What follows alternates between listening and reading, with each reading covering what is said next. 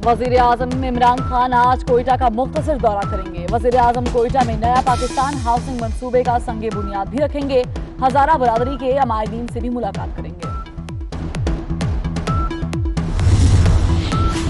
बैसाखी मेले में शिरकत के बाद सिख यात्रियों की वापसी शुरू हो गई। आठ सौ चौंतीस सिख यात्रियों को लेकर पहली खसूसी ट्रेन भारत रवाना, दूसरी खसूसी ट्रेन 624 और तीसरी ट्रेन से तीन सौ अठानवे सिख यात्री भारत जाएँगे।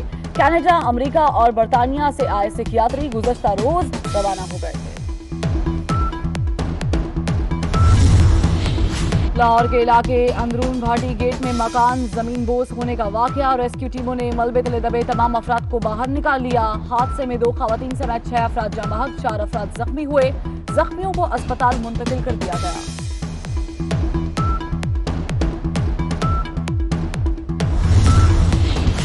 और पाकिस्तान समेत दुनिया भर की मसीही बरादरी आज ईस्टर मना रही है।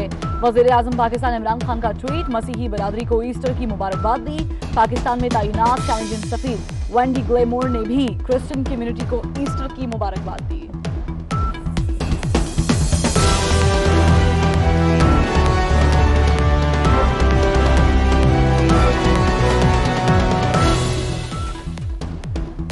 पाकिस्तान में तैनात।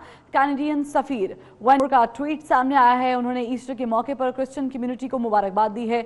उन्होंने ट्वीट में पाकिस्तान, कनाडा और दुनिया भर में मुकी मसीही बरादरी को ईस्टर की मुबारकबाद पेश की है। ट्विटर पर उन्होंने ये पैगाम जारी किया है। पाकिस्तान में तैनात कैनेडियन सफीर वेंडी ग्लेमोर ने ट्वीट करते हुए पाकिस्तान और दुनिया भर में मौजूद क्रिश्चियन कम्युनिटी को ईस्टर के मौके पर मुबारकबाद दी। उन्होंने ट्वीट में पाकिस्तान, कनाडा और दुनिया भर में मुकीम मसीही बरादरी को ईस्टर के इस मौके पर मुबारकबाद पेश की है।